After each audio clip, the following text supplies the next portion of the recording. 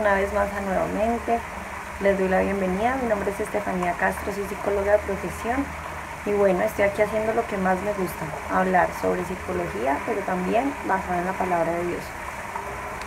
Les cuento que eh, para este video pensé mucho hablar sobre esto, ¿no? He tenido la oportunidad de conversar con varios jóvenes en los últimos tiempos y he encontrado un común denominador en jóvenes más o menos entre los 14 y 18 años, en donde nacen una cantidad de preguntas increíbles, impresionantes, eh, porque es justo la edad en donde empieza la búsqueda de la identidad, de esta identidad que tenemos eh, hasta ese momento ha sido la identidad creada por, por mis padres, ¿sí? más o menos hacia este tema de los 12 años, 13 años empezamos a a cuestionar, a preguntar si realmente todo lo que mis papás me han dicho es verdad. O empiezo a decir, no papá, lo que tú me estás diciendo no es cierto, yo pienso que es esto, empiezan a llevar la contraria, empezamos a generar propios conceptos, a construir eh, nuestras propias eh, ideas de lo que es la vida. Y entre muchos de esos a veces somos los cristianos, y eso hablan específicamente de cristianos, que pues siempre le hemos enseñado a nuestros hijos eh, a adorar al Señor, que la verdad es el Señor. Pero tenemos que tener tanto cuidado en esa delgada línea que podemos cruzar entre lo que es enseñarle a nuestros hijos una relación con Dios y la religiosidad. Tema candente, ¿sabes? Tema candente porque la religiosidad a veces nos lleva más bien a perdernos. Nos lleva a que nuestros hijos en vez de ver a Dios empiecen a ver al papá cansón, a la mamá que, que no los entiende, porque entonces nos empezamos a, nos empezamos a apegar a una cantidad de reglas y normas impuestas por humanos que en realidad a veces, a veces no tienen nada que ver con Dios, muchas veces tienen más que ver con nuestros propios temores de lo que le pueda pasar a nuestros hijos, de lo que pueda pasar allá afuera. Y en vez de entrenarlos para ese mundo que está allá afuera, que nosotros tenemos que entrenar a nuestros hijos para que sean capaces de enfrentar justamente todos esos retos y aprendan a decir sí a lo que deben decir sí y no a lo que deben decir no. Estamos empezando a volvernos papás encerradores, entonces solamente los queremos en la casa, solamente queremos los amigos que nosotros elijamos, solamente queremos que escuchen y vean lo que nosotros queremos y no, no, mira, no es la forma correcta. Acuérdate cuando tú eras joven, de cuando fuiste niño, cómo fue tu niñez, cómo fue tu juventud, eh, si te prohibieron muchas cosas, cómo te habría gustado que fueran, cómo te habría gustado que tus papás fueran. Eh, es tan importante ponernos en la posición del joven, en una etapa en la que su cerebro aún está en desarrollo, en donde está en una etapa de exploración tan fuerte de experiencias, porque buscan experiencias, en donde nosotros seamos capaces de brindarles a ellos esa apertura a, esas experiencias que necesitan. No es acortarles las alas, no podemos cortarles las alas. Ser cristiano no significa cortar las alas, es todo lo contrario. Ser cristianos implica volar muchísimo más alto, porque somos águilas. Entonces, si siempre estamos hablando de la semejanza del águila con respecto a nosotros como hijos de Dios, pues debemos hacer lo que hace el águila, el águila empieza a botar el aguilucho de su nido, luego va y lo recoge y lo lleva al nido nuevamente y vuelve hasta que el aguilucho aprende a volar. Pero no lo tiene todo el tiempo encerrado en el nido bajo sus dos alas. No, dale la oportunidad a tus hijos y a tus hijas de mostrar que ellas y ellos han aprendido lo que tú les has inculcado. Confía en lo que ya tú has hecho, el trabajo que tú has realizado. Porque si no estás permitiendo que ellos muestren que tú les has sido útil para su vida, para sus tomas de decisiones, para todo, entonces estás dudando de tu propia, de tu propia enseñanza. Partiendo de un hecho, estás dudando de la existencia de Dios con tus hijos. Tus hijos son los que te van a dar la posibilidad de, de ver la gloria de Dios manifestada en ellos.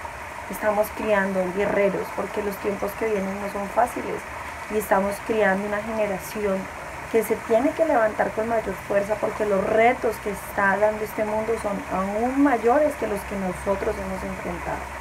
Entonces no podemos encerrarlos en las cuatro paredes de nuestra casa esperando que, que no, que no, a ellos no los toque nada, que a ellos no les pase nada, que ellos no tengan que tomar decisiones, que ellos no puedan equivocarse, que ellos no puedan hacer nada de lo que se supone que a esta edad es lo que debe suceder. No podemos dejar que nuestros hijos se conviertan en frágiles, a los que no se les puede decir nada, a los que cuando se vayan a equivocar en su adultez les vaya a dar miedo equivocarse porque nunca les dejamos tomar decisiones adecuadas, de las decisiones que están tomando, de todo lo que están haciendo, porque ellos tienen un banco de datos aquí en su cabeza, de todo lo que tú les has enseñado durante todos esos años. Ocúpate tú, madre o padre de hijos pequeños, de llenar ese banco de datos con la información necesaria. Ocúpate de tu hijo cuando está pequeño, que es el momento en el que lo estás preparando para que a los 12, 13, 14, 15, 16, 17, 18 años ellos tengan las herramientas para enfrentar este mundo que está aquí afuera, para enfrentar estos nuevos retos que ellos van a asumir, porque en esa etapa ya no nos van a tener a nosotros ahí todo el tiempo, todo el tiempo como cuando tenían 3, 4, 5 años, en donde ellos nos pedían que les diéramos la comida, que los bañáramos, que los vistiéramos, que hagamos todo lo que se hace por un niño. Antes nos van a pedir independencia, nos van a gritar, por favor. Cuando digo gritar no lo digo en el modo literal, sino sus acciones y su forma y sus etapas van a decir, por favor, permíteme vivir lo que necesito vivir. Permíteme tomar decisiones, confía en mí, confía en lo que has hecho en mí. Construyan confianza con sus hijos, por Dios. Construir confianza. Construyan canales de comunicación. Construyan. Esas son las bases de una buena relación entre padres e hijos. Comunicación, confianza.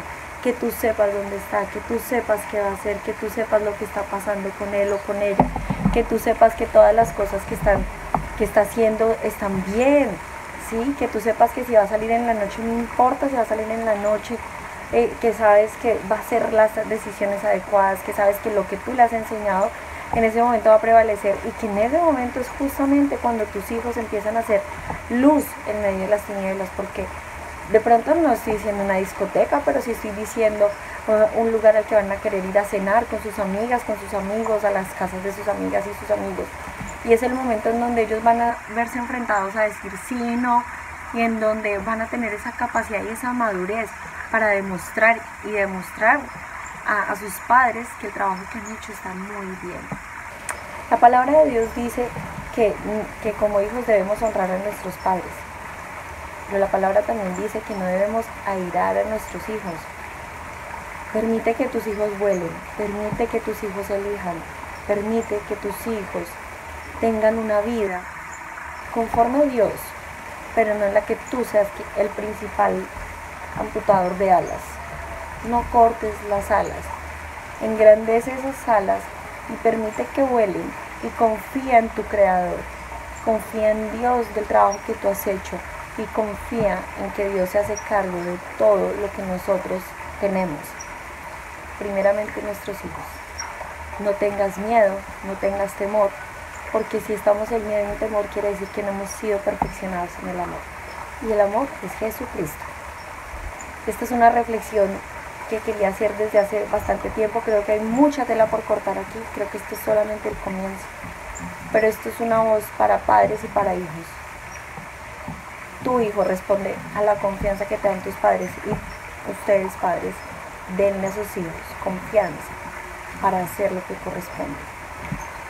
Yo declaro en el nombre de Jesús familias bendecidas, padres e hijos bendecidos con comunicaciones excelentes, Declaro que todo, todo eh, ataque del enemigo en contra de las familias, de las relaciones familiares, es atado, encadenado, Señor, y no tiene ningún poder sobre las familias de nuestra iglesia en el lugar santísimo.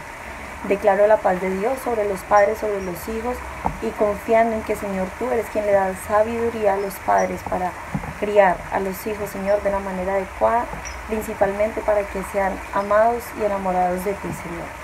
En el poderoso nombre de nuestro Señor Jesucristo. Amén. Bueno, nos vemos en nuestro próximo encuentro nuevamente. Espero que para ustedes haya sido de utilidad esta información y nos vemos en la próxima. Chao, chao.